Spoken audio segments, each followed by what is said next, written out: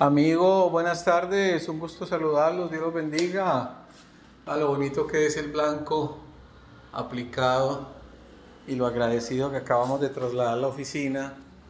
Y mira cómo queda bonito. Pero este video, especialmente cuando yo era asistente técnico allá y lo llaman a uno para un reclamo, entonces uno se defendía diciendo que pues las tandas son mil galones producidos, hubiera hecho digamos, metástasis y, y, en toda parte hubieran reclamado. Pero le voy a hacer un, reclamo como técnico, pues esta es una baldosa en plástico que yo apliqué hace unos 5 años, dos manos de poliamídico de Zapolín.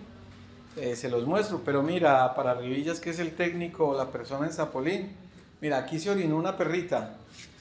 Aquí se orinó eh, una perrita pincher eh, salchicha de una hermana de Lupe que vino de Paseo de Bolívar, del Cauca. Y mira cómo se manchó. Eh, pues, extraño que un epóxido poliamídico, digamos, no resistió el pH del orín del perrito, porque pues, está en muy buenas condiciones, se ha trapeado, se ha barrido.